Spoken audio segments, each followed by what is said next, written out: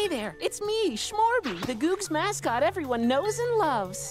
You're already familiar with our amazing search engine, but Googs is so much more. We also have self-driving cars, and we're researching the future of robotics, emojis, and rocket science. Whee! Well, that's it for now. Welcome from all of us at Googs. You can take off your headsets now. Hey there, it's Schmorby again.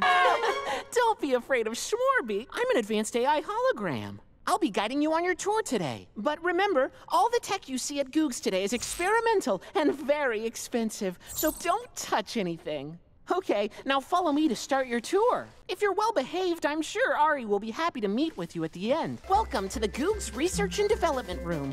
This robot can build anything in under a second. Now follow me to the next area. Over here is our instant cloning pod. I know! Come along, boys. Ari's office is at the end of the hallway. Ah, this is Goog's most important piece of technology. As long as this globe is turning, people around the world will have access to the internet. Now follow me. We're almost at the end of the tour. You. Bears just goofed up the whole internet! Your punishment is. You bears need to leave now. Tour over. Get out.